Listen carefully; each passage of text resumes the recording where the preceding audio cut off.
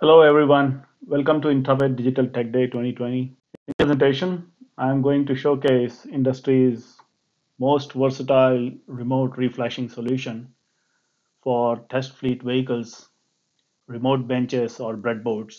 A quick introduction to myself. My name is Samir Bhagwat and I'm Director of Engineering Services at Intrepid Control Systems USA and I have added focus on advanced projects and newer technologies uh, in our production solutions. I am located in Intrepid's headquarters in Troy, Michigan, USA. And uh, of course, I'll always be delighted to talk to you further, answer your queries on remote reflash or any other products you might be interested from us. Uh, my email ID is right there on your screen right now, samirb at intrepidcs.com and feel free to write me an email, pass me on comments on this presentation, or if you need more information uh, on our other product. This will be my agenda today for the talk.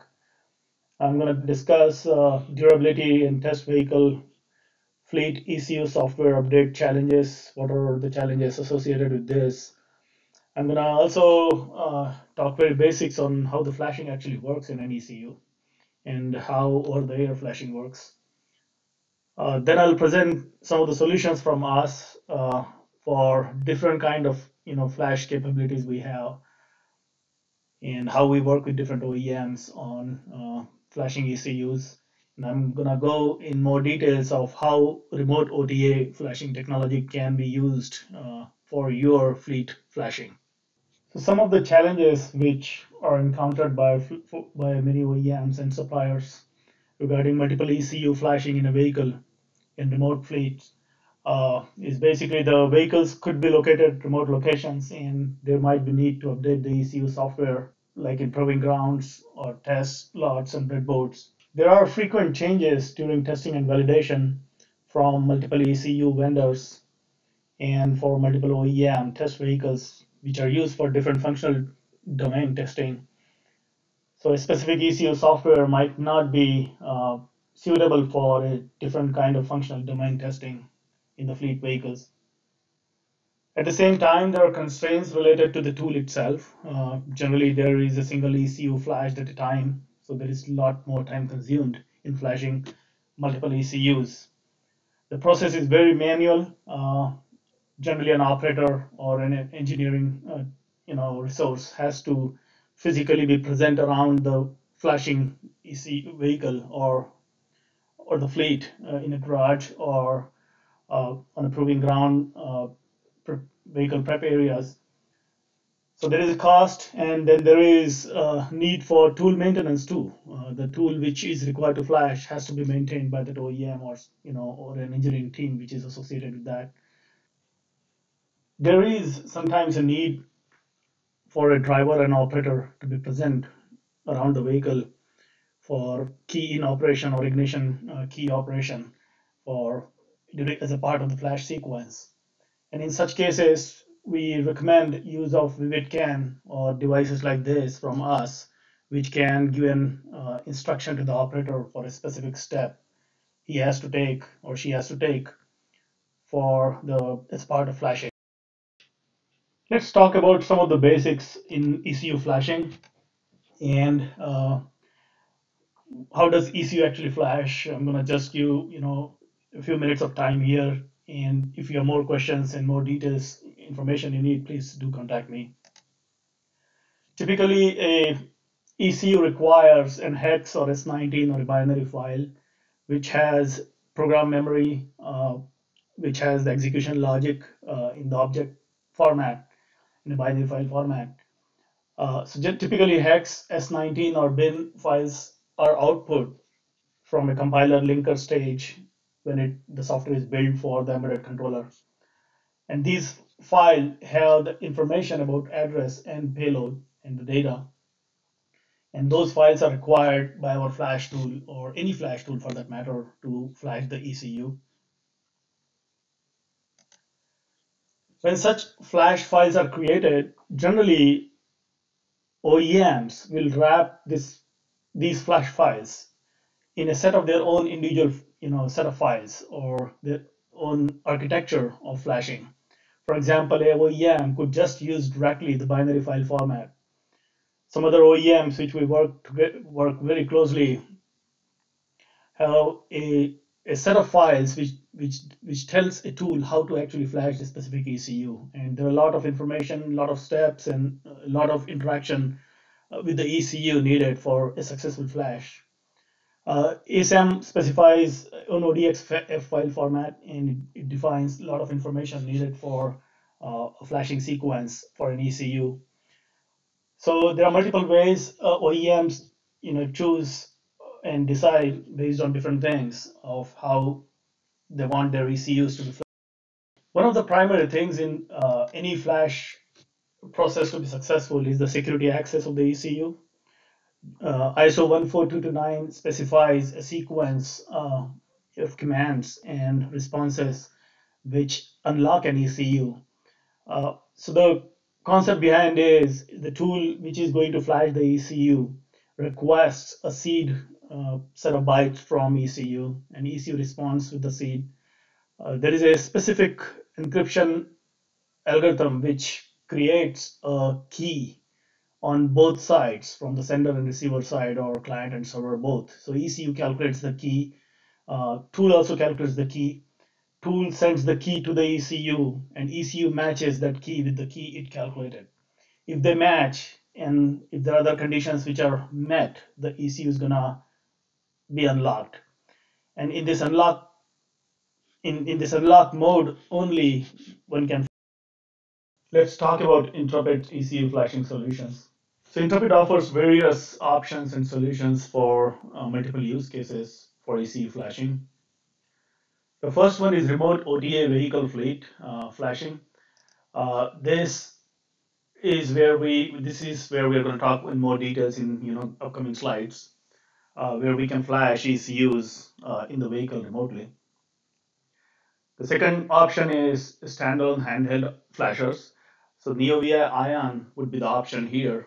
That product can be configured as a standalone handheld flasher for your parking lot flashing or your uh, fleet flashing uh, where you have physically you need to go to a vehicle.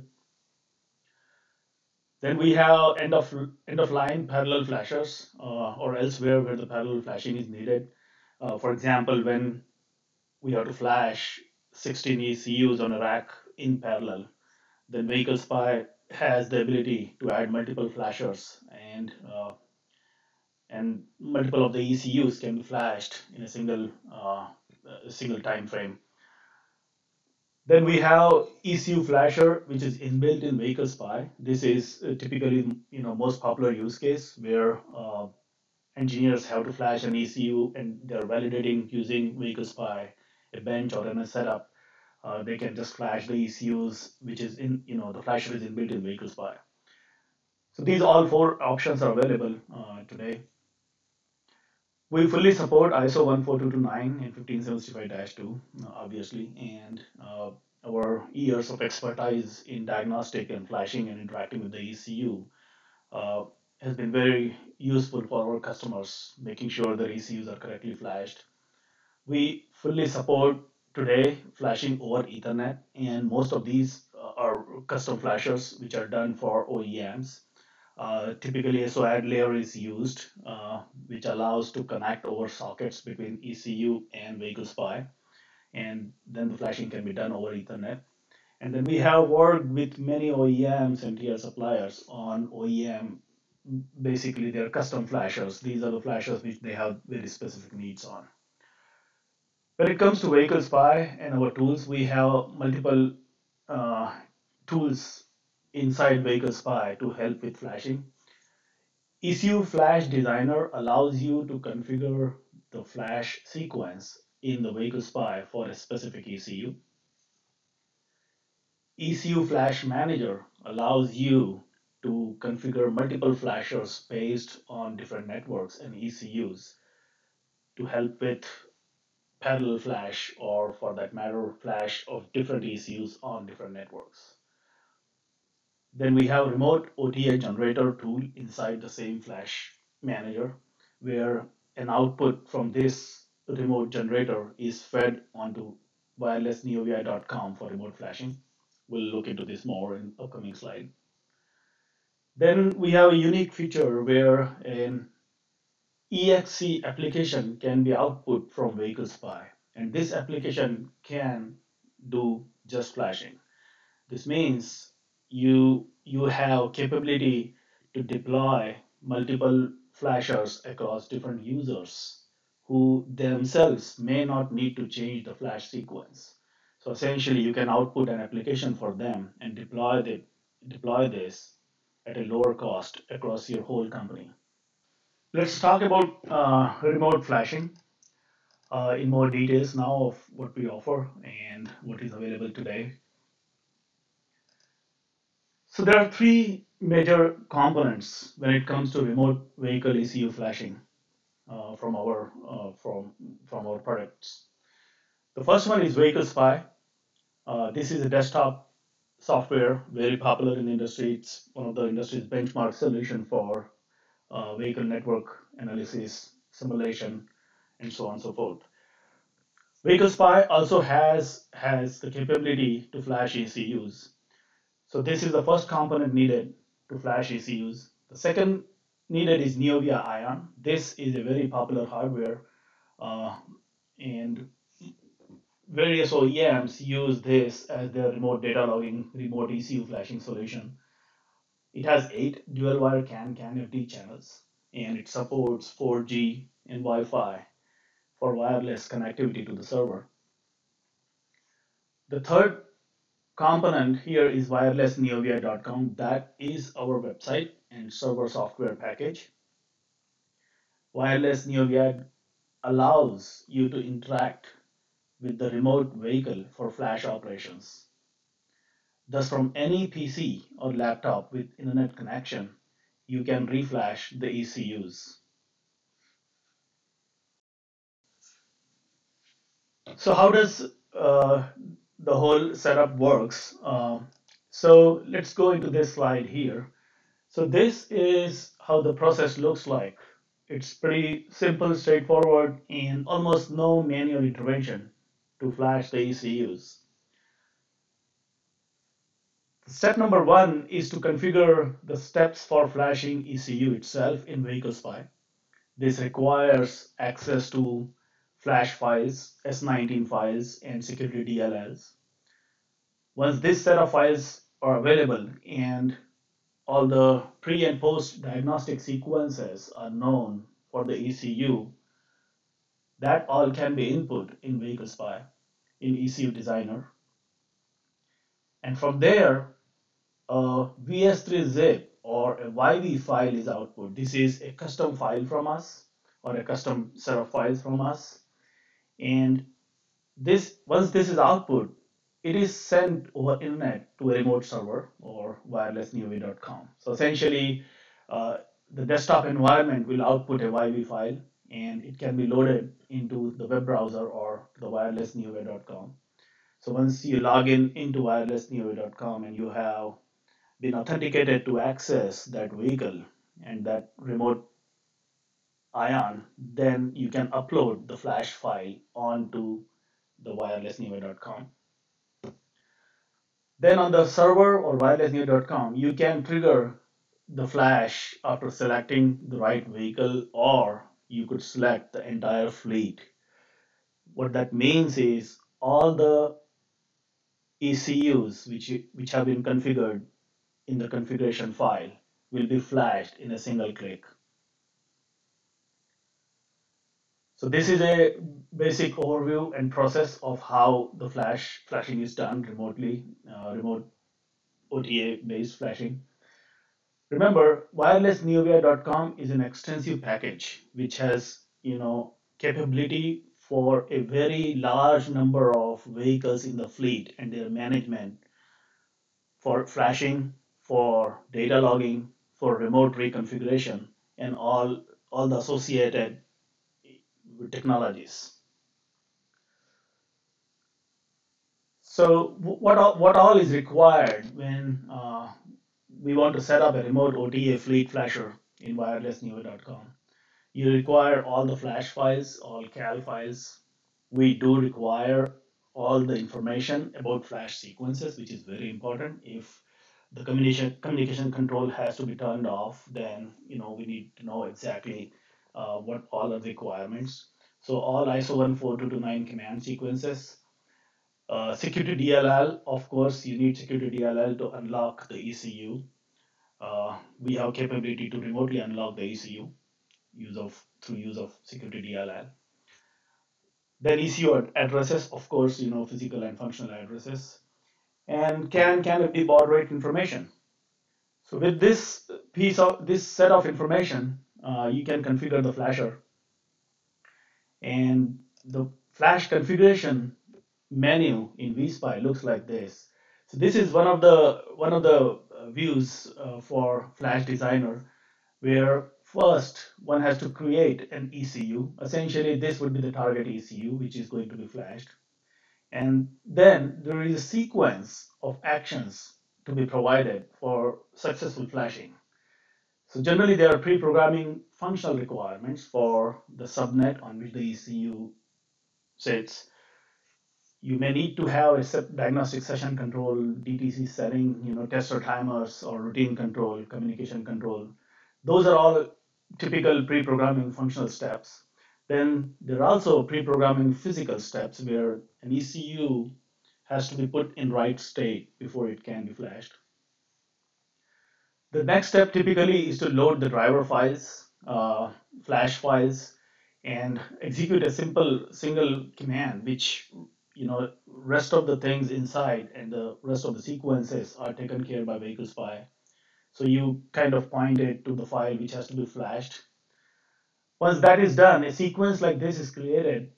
One has to simply click on this generate button to output a YV file.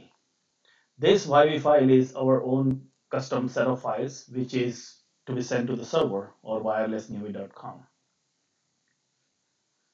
Once set to the server, uh, and when the flash is triggered, there are multiple ways you could trigger the flash. You could manually trigger the whole fleet. You could trigger uh, a specific vehicle, and or you could or you could trigger multiple ECUs on the same vehicle to the same configuration through a single click. That also is possible entirely. So on the cloud or the wirelessneovi.com, uh, we have currently the capability. Uh, we provide some capabilities which are by default, which kind of applies to all our customers and all OEMs and that is basically to show the progress of flashing uh, on which network and which ECU. So we show which network and which ECUs are being flashed to, you know, and the the progression, you know, how much percentage of the ECU flashing is complete. Uh, so you can remotely monitor the flash progress, success, failure. There is also uh, capability to flash and log the flashed file for each ECU. What this means is we can record in parallel the log of each flash from end to beginning, which stays on the server and you have log of every flash ever happened on that vehicle to any ECU on that vehicle. We also have full capability to write software fingerprint information, read, write, store on the website and uh, the same information can be used to display uh, to the user. Clear DTC, control DTC setting, and all diagnostic pre-post are fully supported as I described in my previous slide. So this information is completely accessible over wireless or internet and the user or the engineer who is flashing the ECUs in the remote really need to be on the location. There are many cases, uh, as in past we have so much experience working with OEMs on large flashing solutions and large fleet solutions. All the time and most of the time there is a requirement of wirelessneovi.com to be adapted for a specific OEM. Typically, the database uh, which has the information about software part number, which has information uh, related to and which is needed for uh, successful Flash is with OEMs, and in that case, we very closely work with OEM to provide uh, provide a UI and uh, updated UI which runs their own specific logic. For example, typical customization areas are uh, how the ECU software existing ECU software part number is viewed, what kind of custom flash supersedence logic should work, when to essentially flash an ECU. Is that based on software part number or is it based on some other logic? So that is very custom to an OEM or tier supplier. And we have capability to implement that on wirelessneo.com as a custom adaptation. The, there are also many ECUs and most of them do require a driver or operator in many cases. And how to interface in that case uh, is something custom to a vehicle or an OEM, and we we work with OEM and custom uh, for the custom setup for their vehicle and ECU. So in general, we have the capability to flash your entire fleet uh, of vehicles remotely uh, in a very robust fashion and deploy the solution very quickly for you. This not just helps in reducing the cost, but it also automates the whole system. There is almost no manual intervention of connection, disconnection, uh, and so on and so forth. So we, we, we, we have the capability today to keep your fleet updated with the required softwares on each of those ECUs on all the networks inside the vehicle. We have on our server, wirelessneo.com, uh, capability uh, capabilities which are very unique, like we have integrated post analysis tool or IPA. So if you want to analyze and root cause the failure of a flash sequence, then IPA or a tool like IPA can allow you to deep data mine on the logs which are stored on the server through the flash. And these logs can be analyzed through IPA and an automatic reporting can be generated if to which identifies what kind of failures might have been the reason. There could be different dashboards we could build custom for you, as I described before, uh, to show variant or compatibility metrics and uh, flash supersedence logic and things like that. So in in to sum up this, wirelessneovi.com is can be your single interface to all the ECU software in all of your fleet. This solution is very robust, very safe and secured and uh, to deploy and it is capable to keep the data security and authentication at the highest possible level. So I'm going to talk about integrity, security and authentication of the data in the next slide. WirelessNeoVI.com is a very secured system.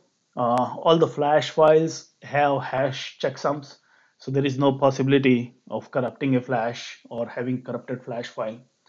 We have SSL uh, SSL built across entire tool for uh, encrypted security, so that you know uh, it can be prevented from a adversary attack. We have very powerful user authentication. This means every user's authority is exactly configured as per what can be given to him. If a user A can flash only these 10 vehicles in a specific proving ground, then he has authority to only do that. So we have very powerful user authentication. Key advantages of using wireless wirelessneovi.com NeoVI Ion solution for OTA vehicle ECU flashing. So there are various uh, you know use cases for uh, remote vehicle you know data logging configuration and flashing. When you have a product like NeoVI Ion in your vehicle, this means most of these activities can be done remotely, which is a huge advantage when it comes to uh, accessibility of vehicle, you know, engineer not needing to go to a vehicle for updating the vehicle. So single hardware unit, NeoVI Ion, is in vehicle for advanced data logging and remote flashing together. This is very important to emphasize and I would like to talk about this quickly. Same NeoVI Ion, which is used to reflash the vehicle, can also log the entire data of the vehicle, which is one of the most popular solution in the market today. Uh, about data logging capability of the Ion, we have a separate tech event and uh, please look for it from us. Uh, it's going to talk about in full details using the same NeoVI Ion for data logging. Again, wirelessneovi.com, this server is to manage the fleet flashing and remote data logging both. So a single solution, single server deployed can also log data for you over and above your requirements to flash your fleet ECUs. We have data analytics application IPA and data visualization and mining tool DataSpy. Both of them are available on the server. And based on your requirements, these two tools can also be deployed in, in the wireless uh, remote flashing application. So these three pieces of information or these three pieces of products uh, make remote reflashing data logging uh, very reliable, robust, and easy to use. Thank you for your time. Uh, if you have more questions, do ask me. My email ID is right there, samirb at intrepidcs.com. I will be more than happy to talk to you about, you know, providing a demo or uh, more talk to you more about if you have more questions on uh, remote reflashing. Thank you very much. Thank you very much.